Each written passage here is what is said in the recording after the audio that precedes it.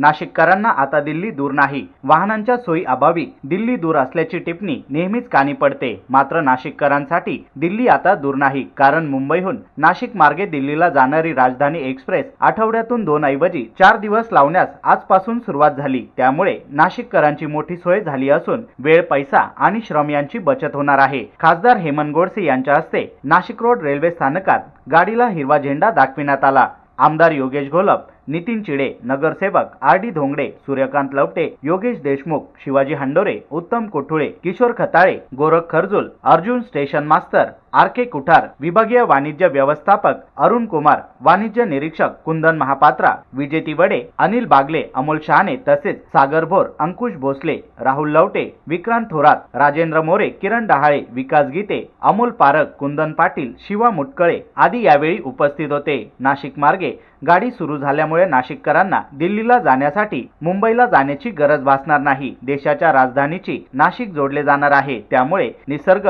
व धार्मिक पर्यटन वाढणार आहे. रुग्णांना उपचारासाठी तर स्पर्धा परीक्षांच्या तयारीसाठी उमेदवारांची मोठी सोय होणार आहे.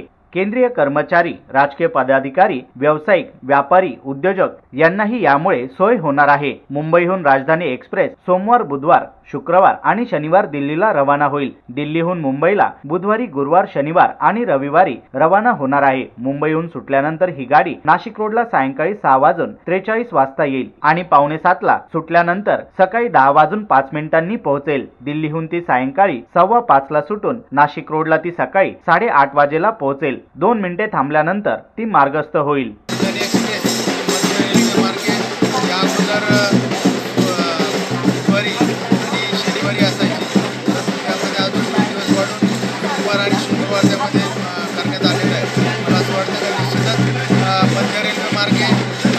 राजधानी जवळजवळ महाराष्ट्रातील चारशे पंच्याहत्तर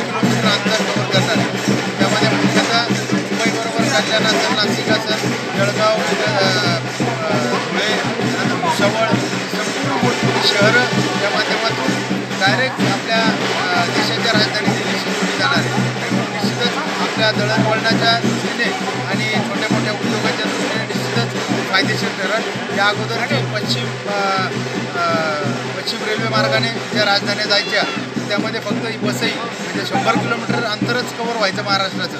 त्यानंतर गुजरात सुरू व्हायचं. खऱ्या अर्थानं मला असं वाटतं का खऱ्या अर्थानं या राजधानी आता चार दिवस सुरू झाली. त्यामुळे निश्चितच महाराष्ट्राला न्याय मिळाला.